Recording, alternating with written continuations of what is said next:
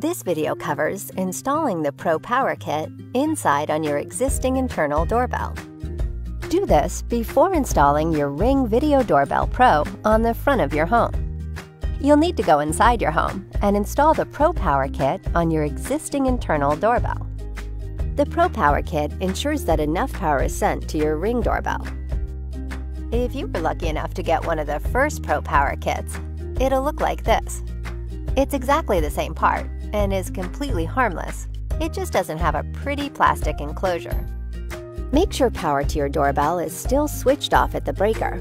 Then locate your internal doorbell and remove the cover. Next, attach the wire harness to the Pro Power Kit, making sure it snaps into place.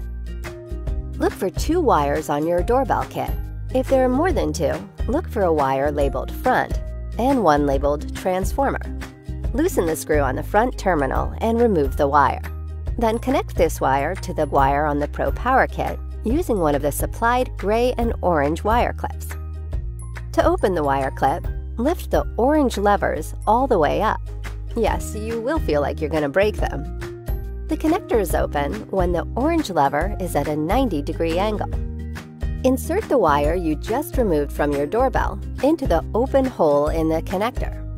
Then snap the orange lever down to secure the wire in the connector.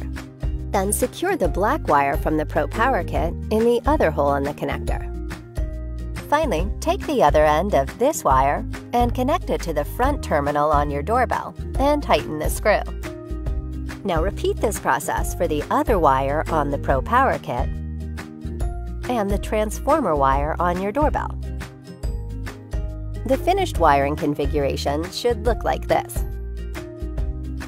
The final step is to secure the Pro Power Kit. We've included some double-sided foam adhesive that you can use to secure the Pro Power Kit if necessary. The trick here is to put it anywhere it'll fit.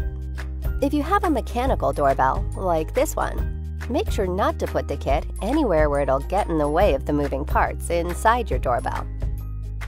If the Pro Power Kit doesn't fit inside your doorbell, you can also attach it to the wall next to your doorbell, like this. Finally, replace the cover on your doorbell.